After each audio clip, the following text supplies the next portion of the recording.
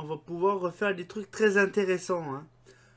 Donc, euh, qu'est-ce qu'on va pouvoir parler? Oui, on va parler des tas de trucs intéressants. Oui, bien, bienvenue à tous pour une nouvelle vidéo. Donc euh, là, euh, j'ai voulu faire un truc intéressant parce que justement, on a, on a vu quand même les trucs les plus farfelus quand même dernièrement. C'était pas mal, tout joli, tout sympatoche.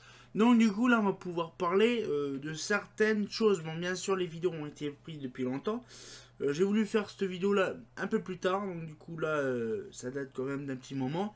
Et donc du coup elle sera disponible donc ce jour-là. Et donc là, après, donc euh, après cette vidéo là, vous allez avoir une vidéo tous les jours. C'est quand même farfelu de faire une vidéo tous les jours. Hein. Donc là, du 2 octobre jusqu'au quasiment au 16 octobre, quasiment une vidéo tous les jours. Ça fait plaisir. Donc vous verrez tout ça. Donc bien sûr, on se dit donc à tout de suite pour la petite vidéo. Donc euh...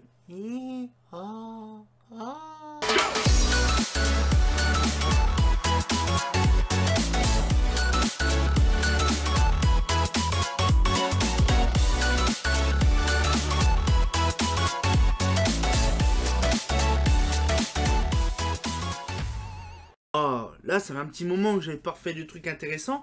Et là, justement, on va découvrir des petites lanternes parce que oui, entre deux, il y a eu beaucoup de choses qui arrivaient. Mais euh, j'ai voulu euh, faire plaisir déjà euh, pour vous montrer déjà des trucs très intéressants. Donc, bah, j'ai voulu le faire maintenant. Oui, donc du coup, on va pouvoir commencer. Donc, du coup, j'ai récupéré des petits trucs très intéressants. Donc, de toute qualité depuis déjà un moment. Rappelez-vous, j'ai une colonne FC euh, LC225WF qu'on avait fait une petite vidéo dessus mais elle n'était pas complète. J'ai également aussi donc les lanternes de Jérémy, donc du coup, les lanternes de Jérémy c'est plutôt des lampes qu'on va trouver. Des petites, euh, un petit projo de Fredo, donc euh, très intéressant. Une boule aussi, vous savez les boules holophane que j'avais, donc la S500, bon ça je la ferai. Mais une vieille holophane 500 justement, des années 50. Et une petite dernière qui est très intéressante qu'on va découvrir ensemble. Ça fera plaisir. Donc du coup, je vais vous montrer les petites totof de tout ça. Donc c'est vrai que c'est intéressant. Donc, euh, donc la première petite photo, la fameuse, voilà, la fameuse petite LC225. Ça m'a, franchement, c'était une vraie, une vraie, une vraie merde à refaire. Euh, déjà, parce que l'embase, déjà, et... Euh, alors, je ne sais même pas pourquoi je l'ai fourgué. Euh, je l'ai fourgué où, en fait, moi, cette machine-là? Je crois qu'elle doit être dans l'atelier.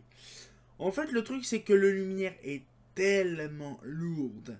C'est que déjà, l'embase en fonte, les verrines qui font au moins 10 voire 15 kilos, le luminaire fait au moins une vingtaine de kilos. Donc voilà, donc euh, bien sûr, il y avait le petit téton de vis euh, qui était coupé à l'intérieur. Donc du coup, il fallait que je le démonte, remettre une, un vis carré, un écrou carré avec le nouveau chapeau dessus, repeindre le chapeau. J'avais plus de blanche, donc du coup, j'ai pas fini à la bombe. Donc du coup là, donc ça fait un, bon, beau modèle, franchement, c'est un modèle de WBF. Hein. Et donc c'est un modèle que j'apprécie beaucoup parce que c'est des lumières qu'il y en avait. Sur Epernay, il y en avait de toute qualité. Et donc, c'est un modèle de mon enfance. Donc voilà, donc ça fait plaisir. Donc, euh, très bonne qualité, très bien.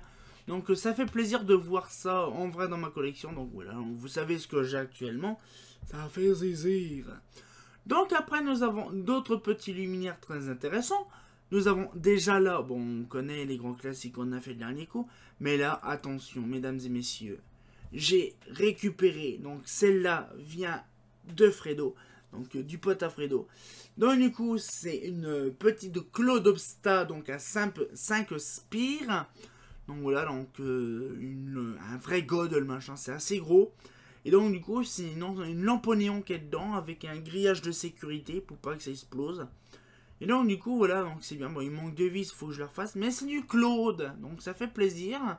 Et la version Big, donc la 13 spires, donc là, euh, bon, la lampe, elle fonctionne plus, mais on peut la refaire. Bon, bien sûr, euh, le ballast est dedans. C'est extrêmement lourd. C'est vraiment, ça doit peser dans à peu près les 8 ou 10 kilos.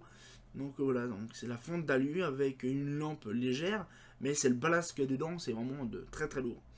Après, nous avons donc un petit truc intéressant, mais c'est quoi ce truc de what the fuck?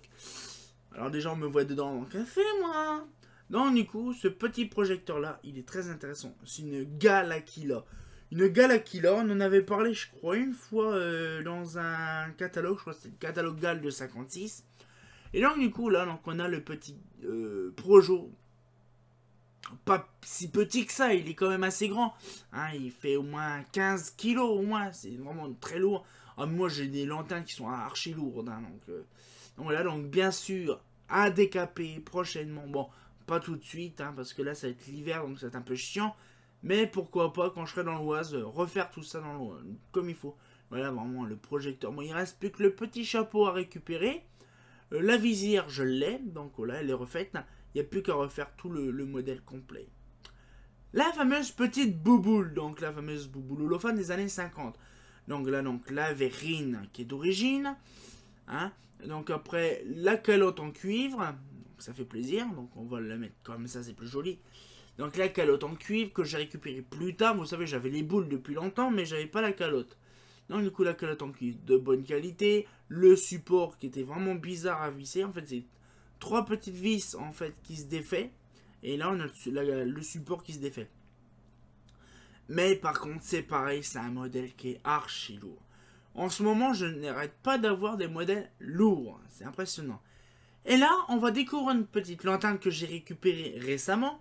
Ça fait plaisir en plus de découvrir ça. Et en plus, on m'a toujours dit oui, il faut que tu l'as dans ta collection. Euh, c'est pas normal que tu n'en as pas. Il faut que tu en trouves. Il est urgent que tu en trouves.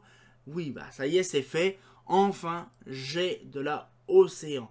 Bon, bien sûr, c'est pas la Océan 36 ou la 26, euh, la, la 36 ou la 30, parce que ça c'est volumineux. Rien que déjà le petit modèle, moi j'ai la Océan 26 OA, donc euh, c'est le petit modèle, heureusement, parce que là, franchement, c'est déjà un gros machin. On imagine le, le, tabouret que ça peut être immense pour la taille 4. Nous voilà, donc avec le petit optique toute sympatoche. Donc du coup, là, elle est en E40.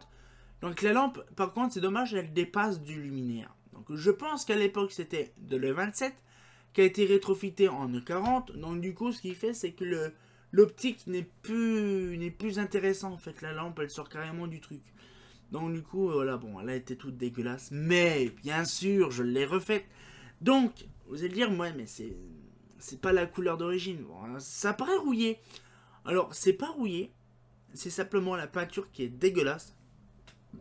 Sachant qu'à l'époque, elle était bleue. Je me suis renseigné sur, euh, sur le catalogue 76. Et sur le catalogue Eclatec 76, il parle donc de la Océan au bas au machin 36. Et là, il parle de la couleur bleu gentiane. Alors pourquoi bleu gentiane? C'est la couleur typique d'Eclatec Océan. Mais par contre, bleu gentiane, c'est quelle couleur en râle? Un peu compliqué, hein Et eh bien là, justement, le bleu gentiane, c'est le 5010. Donc du coup, j'ai acheté de la bombe 5010.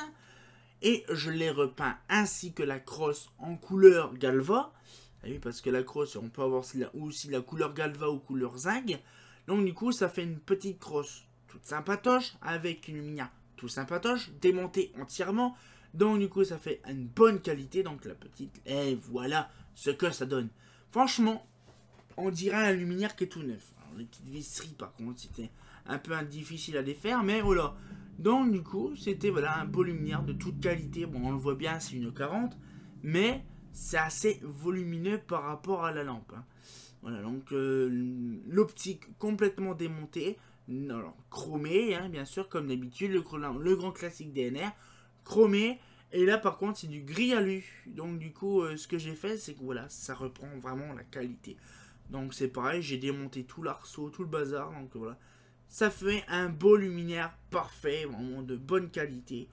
Donc, du coup, là, ça fait plaisir. Donc, bien sûr, les lanternes sont déjà sur mon inventaire. Donc, déjà, on arrive bientôt à 630 lanternes. Je crois que c'est bien. Non, pas tout à fait.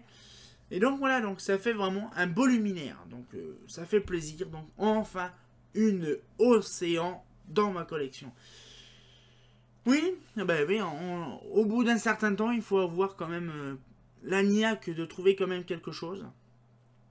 Parce que c'est vrai qu'on n'a pas trop l'occasion de, de réfléchir de ce qu'on peut récupérer comme lanterne.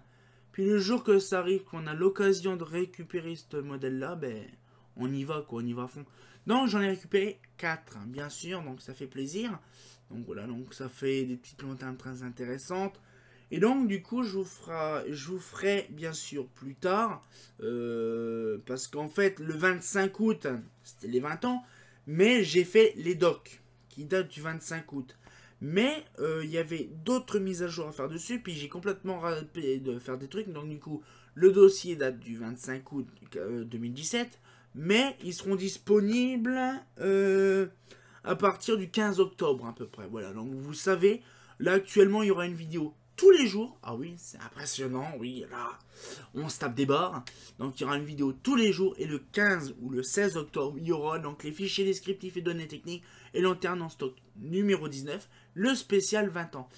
Et donc du coup, vous verrez des petits trucs très intéressants dedans, ça fait plaisir, hein, c'est pas piqué des hannetons. Et donc du coup, voilà, donc j'espère que la petite vidéo, bien sûr, vous a plu, donc on va regrandir, ça fait plaisir. Et donc on se dit, bien, comme d'habitude, j'espère que vous avez aimé la petite vidéo. Euh, oui. Donc j'espère que c'est bien. Et donc du coup on va se revoir euh, pour de nouvelles vidéos prochainement. Donc ça sera très intéressant de découvrir ce qu'on va voir. Et donc on se dit, ben comme d'habitude, hein, bah c'est pas faux.